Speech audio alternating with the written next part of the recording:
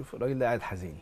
لو سألتني قاعد حزين ليه أقول لك حزين عشان هو عارف إن هو هيتكلم على يوفنتوس دلوقتي. هنتكلم عن الدوري الايطالي هنتكلم عن الدوري الايطالي وبعد كده هتتكلم على اليوفي. فاكيد بتفكر حزينة. دلوقتي. قصة حزينة. إيه اللي بيحصل لليوفي السنة دي؟ صحيح. وعلى فكرة الإنتر برضه مش في أفضل أحواله. بتتكلم حتى ميلان مش مش ميلان عبقري. آه إيه إس روما كان نفس الكلام. إيه إس روما كان ممكن يحصل تحولات حلوة بالصفقات مع جوزيه مورينيو برضه ما شفناش دوت. يمكن نابولي هو يمكن العلامة المضيئة يمكن في الدوري الإيطالي. آه طبعا والعلامة المضيئة الأكبر هو لاعبهم الجورجي اللي مكسر الدنيا مش مكسر الدنيا بس بأدائه لا مكسر الدنيا بس باسمه كمان. مم.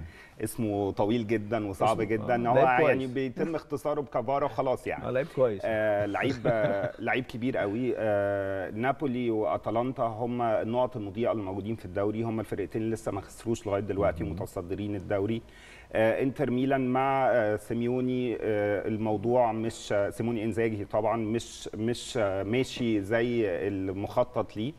وفي كلام إن ممكن يكون أول حتى كمان قبل أليجري مع اليوفنتوس لأن أليجري ليه وضع كده معين مع اليوفنتوس. الشرط الجزائي آه إنتر آه بالظبط. الشرط الجزائي إن اليوفنتوس هيضطر إن هو يدفع 27 مليون غير كمان الضرايب بتاعتهم.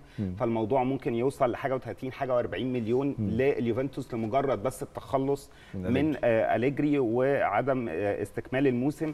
في كلام اتقال بالنسبة لليوفنتوس بالمناسبة إن كونتي أبدى آه، رغبته في العودة لليوفنتوس. أنا مستبعد الموضوع ده تماما. لأن كونتي كان ماضي مع توتنهام سنة ونص وعقده يخلص الصيف الجاي. آه، كونتي مش هيلاقي فرقة ميزانيتها مفتوحة يعني مش مش هيرجع الدوري الإيطالي تاني اللي ممكن ميزانية أكبر فرقة فيه تيجي آه، كانتدابات يعني نص آه، آه، توتنهام. فأنا أحس إن هي شوية مراوغات كده من كونتي عشان يحصل على عقد طويل الأمد مع توتنهام. اليوفنتوس إنتر بنسبه أقل شوية ميلان طبعا بيعانوا. مش عشان كمان هم فنيا يعني في مستويات قليلة شوية وفي لعيبة كتير قوي في الثلاث فرق مستواهم قليل. الانتر يمكن شوية متأثر بالغيابات خصوصا لوكاكو اللاعب المهم جدا آه، في هجومهم واللي كان انتر مركز قوي في سوق الانتقالات إن هو يجيبه. آه، لكن آه، آه، في تذبذب للمستوى كبير قوي في آه، فرقة ميلان وفرقة اليوفنتوس. آه، بالنسبة لميلان إحنا بنتكلم على رافائيل لياو بدأ الموسم مش بشكل كويس وكان متأثر قوي بالمفاوضات اللي كانت من الدوري الإنجليزي وخصوصا تشيلسي. آه، اليوفنتوس مش مفهوم. آه، ال- آه، التعاقدات كانت تعاقدات تعتبر تعاقدات قوية. قوي. آه. بس آه، طبعا في نفس الوقت برضو التعاقد مع بوجبا وإصابته دي ماريا وإصابته ورجوعه وطرده. آه، بنتكلم على كيزا أهم لعيب في اليوفنتوس الموسم اللي فات آه، قبل الإصابة بتاعته بالصليبي. كل الحاجات دي مؤثره لكن في نفس الوقت برضو اليجري مختلف عن الولاية الأولى ليه مع اليوفنتوس.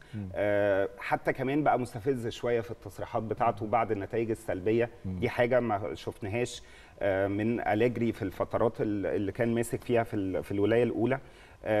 أتلانتا ونابولي بيلعبوا كرة ممتعة. صح. آه، كرة مش معتمدة على نجوم آه، بشكل كبير. حتى آه اتفضل. اتفضل. يعني مثلا زي دريس ميرتنز آه. مثلا واحد الهداف التاريخي بالنسبة لنابولي مش موجود. صح. ورغم كده اللي موجود بيأدي أداء كبير قوي. بنتكلم كمان على جوفاني سيميوني اللي ليه دور مع إصابة اوسمن آه، مهاجمهم الأساسي طبعا اللاعب النيجيري.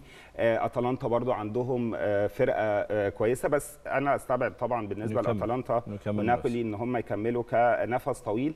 آه، آه، روما معودنا دايما إنه بيبقى عنده أسامي وعنده آه، شكل كده يعني بيلمع كده من بره لكن كان نفسي روما ينجح بصراحة. آه، ونفس حباً كل متابعين الك- الكرة الايطاليه مش على حبا في روما بصراحة على قد ما حبا في جوزيه مورينيو آه،. يعني وهو كل متابعين الكرة الإيطالية ما عندهمش آه، يعني عندهم soft spot كده لروما طيب. وخصوصا كمان وقت ده ايطاليا كلام عن الدوري الإسباني الدوري الإيطالي نروح